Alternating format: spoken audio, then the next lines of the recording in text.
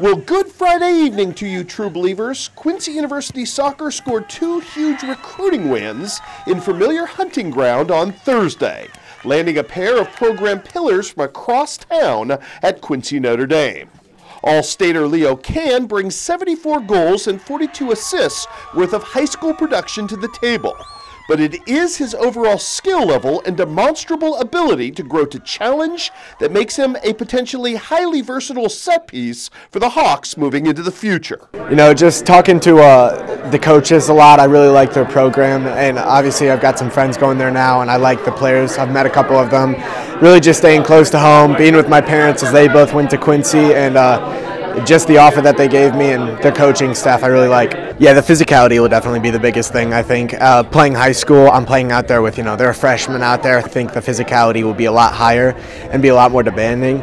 So the transition into college will be a lot harder, but I think I'll be able to do it. Carp and I have talked a lot about where I'm going to play. We've even talked about me playing defense that I've never really played before. But yeah, I think it'll be a big improvement, and I think it'll be hard to adjust. But I think once I adjust to the level, I'll be able to play anywhere. I've talked to uh, the um, the staff over there, and I think I'm going to go into finance and get some sort of become. I'm going to try to become a finance major out of that and um, be a financial advisor.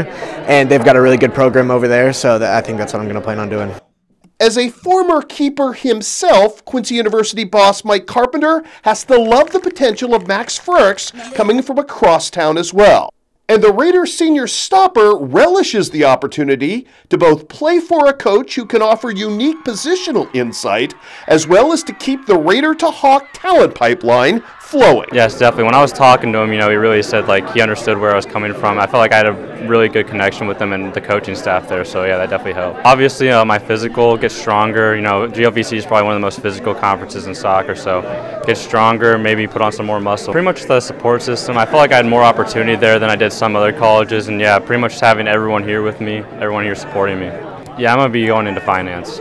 John Wood's soccer boss, Bob Cowman, also wisely fished the Q&D soccer waters on Thursday in landing the unsung linchpin of the entire Raider defense. Coach Cowman actually reached out to me personally, and he just like he really wanted me to come and visit the campus and see how we worked. And when I went there, I kind of loved what I saw, and I kind of just was like, hey, this is this is great. And I checked out every other schools, and honestly, I didn't really feel as much wanted there as I did at John Wood, so kind of felt like that was the right call. Yeah. Oh man. I mean, we got a guy coming in from Scotland, the Dominican Republic. That I mean, that's amazing. I mean, the fact that I can talk to people from around the world is something I didn't even think I'd be able to do. Uh, well, I was just talking with uh, Coach Cowman. Uh, speed. Gotta get faster. Gotta get that stamina back up there. I need to get some. Uh, I need to get some more body on me. I gotta build some muscle mass. I gotta get ready. You know. Uh, actually, I wanted to become a police officer when I get out of community college and hopefully get into the uh, police academy and possibly become a state cop. I don't know. It's the that's kind of the, the goal.